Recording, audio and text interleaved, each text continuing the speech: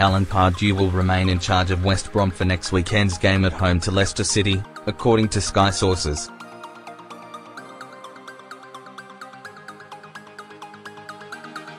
Members of Albion's board met on Saturday night and held further discussions on Sunday morning to discuss what is best for the club going forward.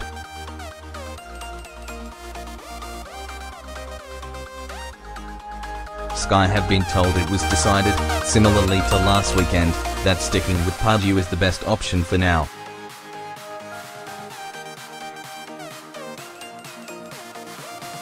This is largely because there are no obvious alternatives to go with, but also because the improved performance from the team in Saturday's defeated Watford, has convinced Pardew's bosses that the players have not turned against the manager.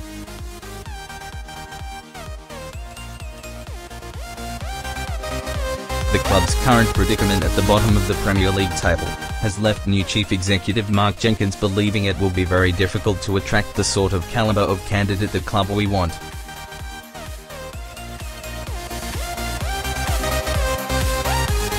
Sky sources understand Albion cannot make a stopgap appointment until the end of the season, and there is no obvious caretaker manager within the ranks of Albion's current coaching staff.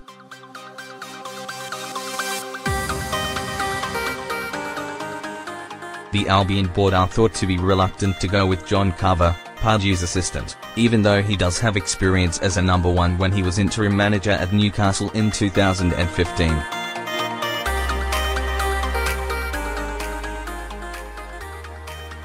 Albion have lost six successive matches and are now eight points from safety at the bottom of the table with nine games to play.